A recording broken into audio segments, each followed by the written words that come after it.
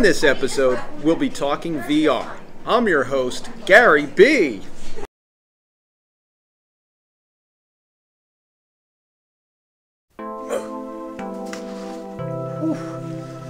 Twelve seconds later. So I just spent the last eight hours living, breathing, and experiencing VR. And you're probably wondering why. Well, here's why. Recently, Oculus came out with new software for their Oculus Rift headset. They call it the Oculus Dash. They believe that the Dash will eventually replace screens and computer monitors.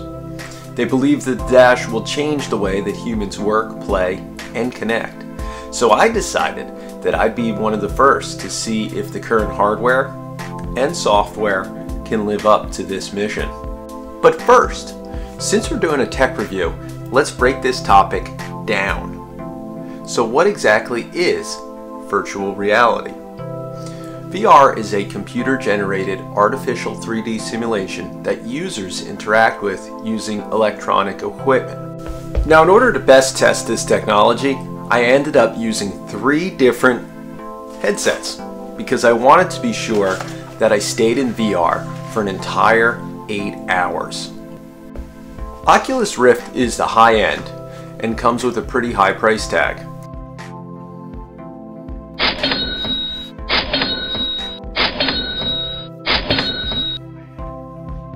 You'll spend anywhere from about $400 to $800 on the headset alone.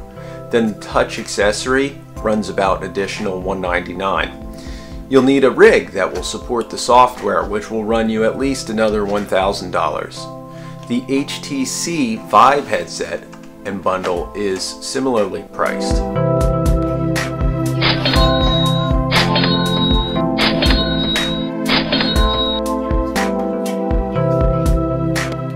Both of these systems are what I call tethered systems, so they're not mobile.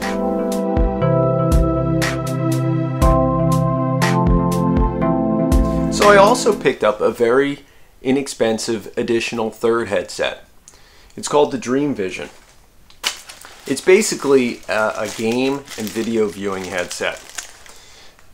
These untethered headsets won't cost you a lot at all, but they can't do nearly as much as the Vive and the Rift.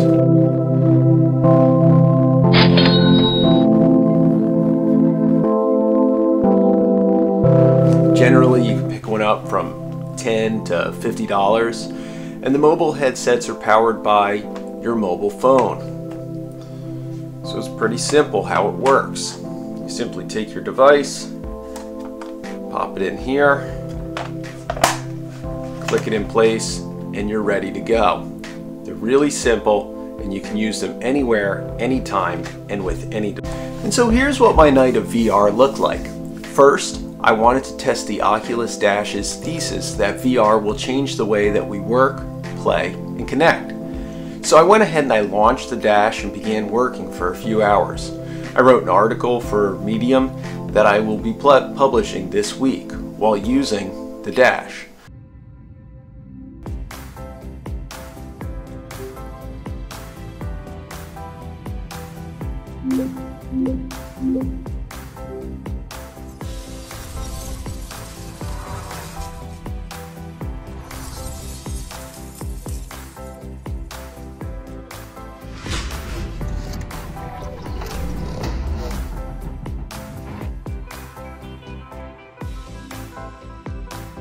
But then I started to get really fatigued. My head was a little achy and my eyes, they hurt from focusing so intensely.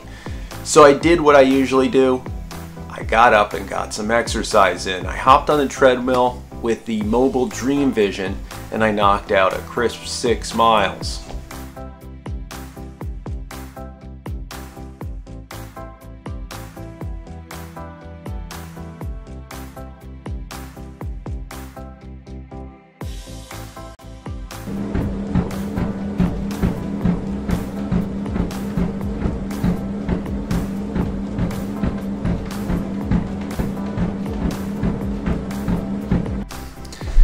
And next I decided to do some simulation games.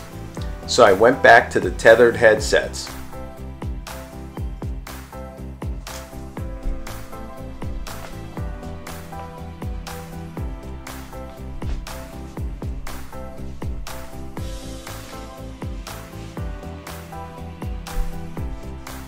For me, I enjoyed the simulations and the gaming in VR more than I did doing the regular work stuff. It seemed more natural. I ended up switching back between work, play, and connecting the entire time. I'm not sure how productive I really was, but I was kind of just getting used to the whole experience. After eight hours, I was totally fried. So here's the positives of VR. It's great for technical training, like vocational purposes of learning, to do something that requires a technical skill. For instance, there are how-to style tutorials for doing jobs in the construction industry. I even tried a simulator where you learn to cut down trees safely around power lines and hazards. And when it comes to games, VR is fantastic because you're right in the experience. Games like GTA and COD are really popular because of the connections that we make with other players, because there's so many people playing it around the world. The headset makes the connections even better and you actually feel like you're there with the other players in a community. Now unfortunately, there are also some negatives. Most importantly, I question whether we're built for full-time VR use. My eyes, they were killing me after the 8-hour VR binge. I felt like I had a concussion. I also couldn't sleep after the virtual experience. This brings me to the big question. This brings me to the big question. If we use it for longer periods of time, will we build up our endurance for VR or will we have VR actually do harm to us physically and mentally? And now for my final analysis. I read some articles the other day about schools in Singapore and Great Britain that are using VR very seriously in social studies classroom. Here's a clip from a World War I simulation used in Great Britain.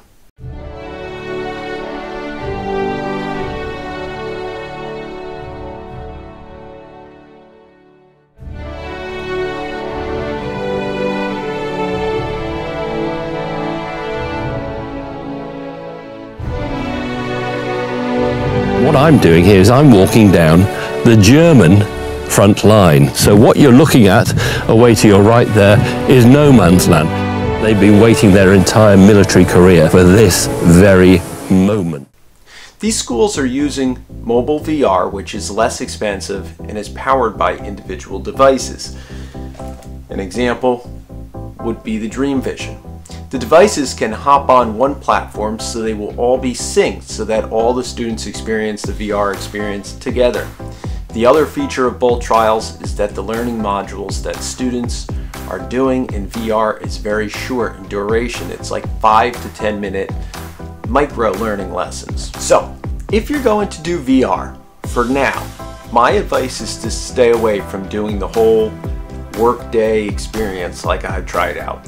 Stick with shorter bursts and you don't have to spend a ton of time to enjoy the benefits of VR. A simple $20 headset and an hour here and there can give you a really good taste of the experience. I,